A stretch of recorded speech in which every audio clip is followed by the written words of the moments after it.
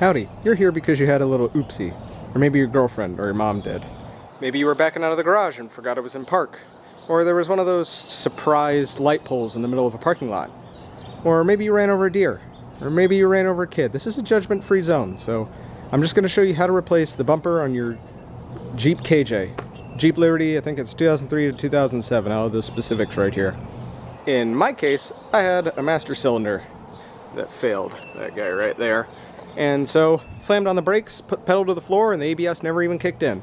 Slid right into the back of a truck about three miles an hour, bent up the whole front end. I had a brush guard on there, and that saved my radiator, but it ate up the hood and everything. And then I procrastinated for about 16 months. And then a kid on a dirt bike ran into the side of me, so I figured if I'm gonna have to pull this whole side of the front of the car off to work on that, I might as well, you know, stop being lazy and do this bumper during a pandemic when everything's closed down and I can borrow my mom's car to go to work if I have to. This is a this is a fairly involved process, so if you've never worked on a car before, do not start here. Uh, you're gonna have a bad time. Uh, but if you're the sort of person who this looks like a piece of cake for you, uh, you don't need to be babied, so I'm not going to show you every single step. Uh, you can figure it out. Once you got your hood up, uh, you're going to want to pull the grill off. Grill's just held in by about six little clips up on top. Don't yank on them too hard because you will break them. You have to go to the scrapyard and you have to buy a different colored one like I did. Uh, you're to have to pull off both of the indicator lights and then uh, unplug the light bulb from each of the side markers. and then you're to have to pull the bumper off. Get the bumper off. Um, there's some screws holding it down there to the bottom of the radiator support. think there's two screws over there holding it in. And then there are three clips each side, two different kinds on each side that you're gonna have to pull off of the um, inner fender. Uh, once you get that off, you can get in there and get the side marker light out. Bumper is going to be also clipped in underneath your mounting panel up here at the top. Then you're going to have to pull the bumper off, and that's going to take the energy absorber off with it. Uh, and then you're going to want to take the uh, mounting panel off after that. Alright, I'm going to show you how to take the mounting panel off in reverse. I'm currently putting it back on right now, but that allows me to show you all the all the little holes and everything you got to line up and put something in. Uh, you don't have to take the headlights off, which is good, but you've got one screw to take out there. All these are 10 millimeter, by the way. Uh, one right there, unless you've lost that clip. There's a little um, clip that goes over here that it threads into. Mine's in a bag over there at the moment. Got another screw right there one more screw right there. These are screws. Uh, and then you've got one more there, one more there. And then you also have to disconnect this harness right here. And this clips in right behind this. And there is a little plastic clip right there that goes in the center. Uh, you've got this connector that goes to your ambient air temperature sensor, which is that guy right there. So you got to unplug that. Uh, back down here, um, this on your indicator. Actually, I think that one goes into the in the bumper, but there's one more in here that clips into the mounting panel. I'll show you that in a second. And you've got these three plastic rivets over here and these three over here that go into these holes on this. So you gotta undo all those and then this should just lift up and do not pull straight up because you also have this little guy right down in here that is inside of the bumper and you'll snap that off. And it actually doesn't make a difference but you know just don't be an idiot. Don't do that. All right so here are those two plastic clips i was talking about on this harness. That one right there goes into this hole from the back and that guy right there goes into that little nubbins right there. You also need to disconnect your headlights. It's more the same over here although i think there may only be yeah there's none right there actually i don't think there's a plastic clip on this side no, that one just goes right into the headlight. So it's just the headlight over there, two clips over there, and that headlight. Um, don't pull, you don't need to pull your bulb out, but if you can't get that little blue thing off, you can just pull your bulb out. Uh, and just leave that hanging, but you know, you'll probably shatter it. So try not to do that. But you know, if you got in front in collision, you might just be able to pull, just pull this off and drop it because everything's gonna be shattered anyway. You have to buy new stuff. Um, but I'd already replaced that, so this last accident didn't damage. It crushed the front corner of the bumper cover, but it didn't damage anything on the front, thank God. And then just take your indicator light and side marker and just chuck it up here in the engine bay. Uh, don't shut your hood uh, because you'll crush those. Also because the latch won't really work uh, once you unscrew that from the bumper. Yeah, now you can just get after that bumper now. Well, I've already done the hard part, as you can see. So I'm just gonna go around and show you where all the spot welds and stuff are and then I'm gonna try and show you uh, how to put everything back on. So there are a lot of tack welds on this thing. Um, I don't know what the hell Daimler Chrysler was thinking, but uh, there are 46 tack welds holding this bumper on and six stick welds. I guess they they wanted this to be a structural component, but you know, it's not like it's a bumper or something which is designed to, you know, be replaced when you bump into things or anything like that. No, that's that's stupid. So each side is the same. There are three tack welds on the outside, five on the top here. There's two on the top of the cross member, three on the front of the cross member, five down here on the bottom of the cross member, and five more over here on the left of the cross member. Uh, these are a nightmare to get to. There's also two stick welds right here and another stick weld right here. Like I said, same stuff over there. So in order to get out these tack welds, you need one of these little 3 8 Harbor Freight tack weld driller specials. Uh, it's nice because it has a reversible bit so that when you shatter it like an idiot, you can turn it around and make the same mistake again which I managed not to do. I'm, I do not know how I got all these off with just one of these. And over here for the stick welds, I just came in here with a quarter inch grinder disc on a angle grinder and just hog those out. Now the first 36 of these tack welds and the six stick welds are, you know, relatively a piece of cake. These five in here are a nightmare because you have to get them off of that plate, which is inside of the bumper. And if you've hit something, there's no way you're getting anything inside of that bumper which means you've got to take a die grinder, or in my case, cutting wheel on angle, angle grinder, and slice that thing to pieces to get at that, to get that off with your Harbor Freight Special. As you can see on the new bumper, uh, there isn't there isn't one of those plates, you know, and I'm certainly not putting those back on because if I hit something hard enough that that causes a structural problem, um, the car going to be totaled anyway. Uh, the bumper bumper didn't have any effect in there. That's the last of my concern. Just, so yeah, so that's what you got to do. You just got to cut this thing into a bunch of pieces and get after it. Uh, what I did is I came in here and I cut a plate right off the front. This is the top. So I just cut a little plate out so I could get the angle grinder in there.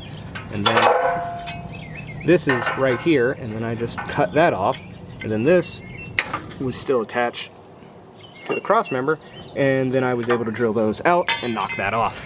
Once you drill out those tack welds, uh, you can just get a, an old beater screwdriver and hammer and just beat it underneath the sheet metal and break them free. Uh, and don't go all the way through with these because uh, you won't have anything to drill or weld into when you get through. Also, make sure to remember that when you're cutting this out and drilling out all these welds and all that, do it barefoot like I did. It builds character. Once you start trying to pull the bumper off, uh, there's really only two things that are directly connected to the bumper that you didn't already have to take off just to get to it. Um, I guess there's three. Uh, the first is this bracket that holds the hood latch. You have to pull those two screws out, that's easy. And down here, the windshield wiper fluid tank, there's one bolt right there that holds that into the bumper. Uh, just the stuff that screw up there so I didn't lose it. And you also have this brake line going over here to the passenger brake and that is held in with these two clips that are pressed into the bumper and that one's broken and that one doesn't want to stay in the hole so we'll just ignore them but uh, what you do is you just press on these and they come off the brake line and they should stay in the bumper and then when you have the bumper off you can pull them out or buy new ones.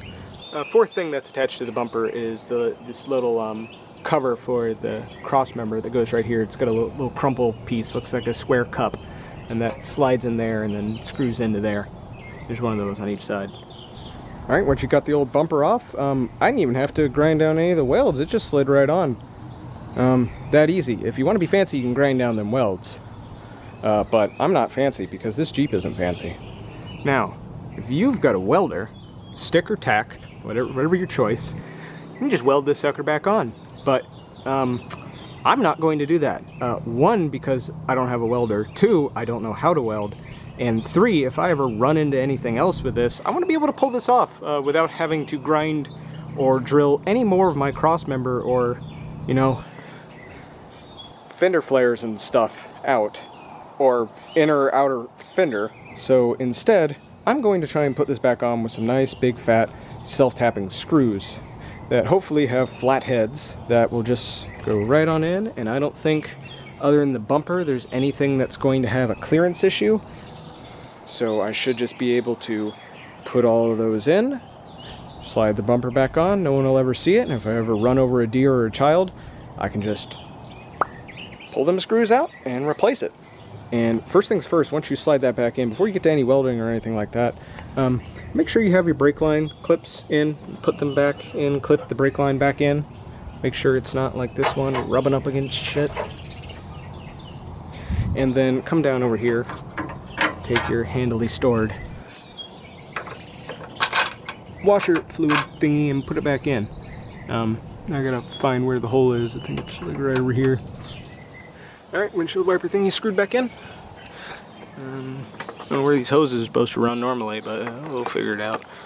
Well, I'm gonna run to the hardware store and try not to catch coronavirus while I'm buying some self-tapping uh, screws because I bought some that I thought were self-tapping sheet metal screws, but they're for like going through soda cans and into plywood. And I broke two off in there, and then I broke a third one off, but I broke it off high enough that I could back it out.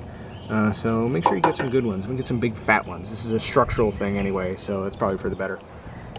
Some might say I'm putting lipstick on a pig, but that implies that I don't have the resolve to kiss that pig. I've been Frenching this swine for at least five years. This is more like mouthwash on a hog. I don't need any convincing to get me to kiss it, but you know, I'd rather not throw up in my mouth while I'm putting my tongue down its throat. Alright, there we are. Got her in with self-tappers. Look at that action. Mint. So, that was um, slightly harder than expected. Broke two drill bits and an impact bit, but got them in there. I've got 11 on each side. Two on the outside just because one of them stripped, so I put in a second one. Three there, two on the top, one on the front, three on the bottom. I just ran one right through that, um, ran these two on the top through the old welds, that one through the old weld. Uh, those welds uh, got a bit heat tempered from the die grinder, so they were a little pain. And I ran two of these through new holes and one of these through, I guess that's a drain hole or a stick weld hole or something. I don't know what it's what it's for, but I just ran one through it. And if I need to take it out, I can take it out, no problem. Uh, and I think that's plenty. Uh, these are screws I used. Picked these up from Tractor Supply, uh, 10 by 24. They're fine thread, uh, look to be galvanized. Yeah, they're pretty good. Uh, drilled a 1 8 inch pilot hole, and just ran that down there and they just flew on in with that impact gun. Uh, don't use Harbor Freight impact bits because I munged one of those on the first try and then I sheared off that screw right there trying to use that munged up one. So yeah, I don't know. I don't know what brand that one is, but found on the side of the road somewhere. It's pretty good, good steel. Uh, I already went and put the uh, latch holder back in. It's just two screws, and as you saw, I got the brake line in, and I got the windshield wiper fluid in. Um, I don't know what hole that's in. There's another hole right here that I think it's supposed to go in, but it doesn't get that close, and there's like this weird diagonal cut thing that I think was just a relief cut when they were shaping this and I ran into that and it's it's not particularly snug so I think I think I might re-drill that at some point but that's just something to be aware of. Uh, now we're going to put these guys back on. So I think these are little these are little bumpy things for the cross member so that if you hit something the impact gets put right into the frame doesn't just crush the bumper. So we're gonna put those back on. Would have liked to have put another screw right here, but you know, uh, it's not really doing much. It's just keeping it from pulling off. All right, neighbor's mowing now, so you're gonna have to deal with that.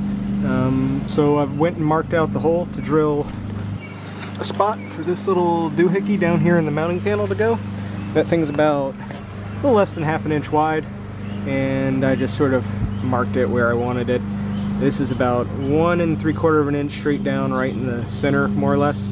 And I'm just gonna go after it with this three quarter inch hole saw. That doesn't need to be precise, it's just there to keep stuff from rattling, I think. All right, well she went in just fine, and it looks like all of my holes line up, everything else clearances. Some work on getting that harness back in. All right, got the mounting panel back in. So the next part in reassembly is putting back on the bumper. But I need to go take this thing and put it back together with some zip ties because that whole corner over there is all smashed up uh, because uh, ran over a kid on dirt bike. Um, kid's fine, dirt bike's not. Jeep will live. But yeah, I'm gonna do that. Then put the bumper back on, and once the bumper's back on, then I can put the side markers back in, and then I can put the indicator lights back on, And then the grill will go back in and then she'll be ready to go. But first, I'm gonna test to make sure that the hood latches because I just went and put the mounting panel back on. So hopefully it does. Nice. Hmm. It's not locking solidly though, so we're gonna have to beat on that a little bit. Never mind, I was just a wuss I didn't hit it hard enough. That's gonna be, that's, that's right pretty there. Minty. I can't do a Canadian accent. Look at that.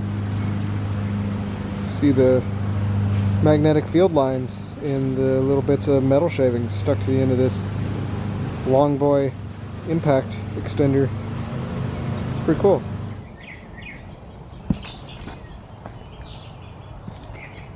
Isn't that just beautiful? Good as new.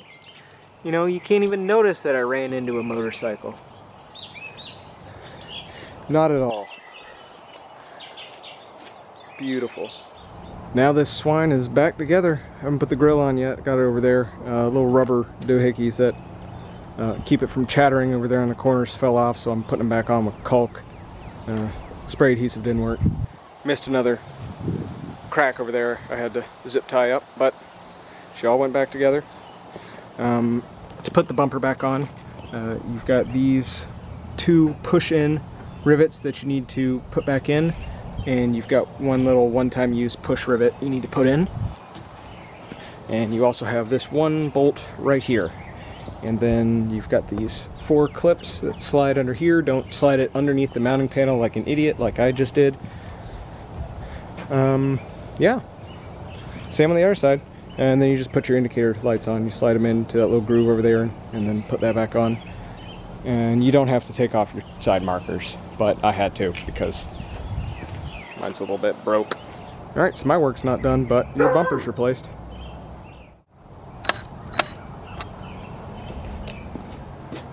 that'll work what the hell are you doing in my birdhouse you little fucking flying rats? You are not a wren